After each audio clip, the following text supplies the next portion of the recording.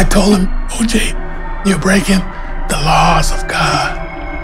One day, everybody's gonna know everything that you've done, man.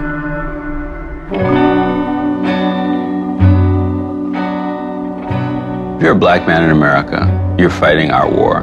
Ooh, Sinnerman, where you gonna run to? The reality of black America and white America, two totally separate worlds. Ooh, Sinnerman,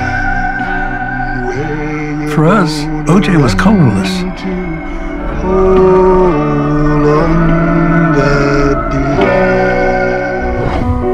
You ugly ass murderer! Oh, Sinnerman, where you gonna run to?